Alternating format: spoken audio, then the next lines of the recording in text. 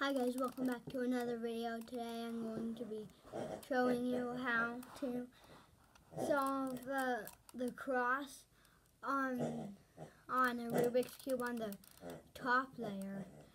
So if you didn't watch the other ones, we already got that.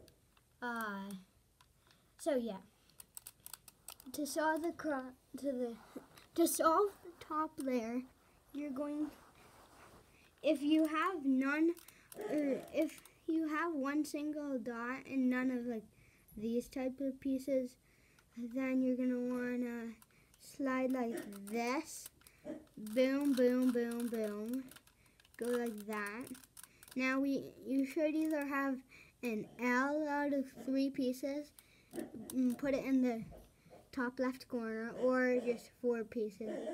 Then you're gonna wanna do that same thing with the right algorithm. Now you should have a straight line, do the same thing. Boom. You should have a cross, possibly even more.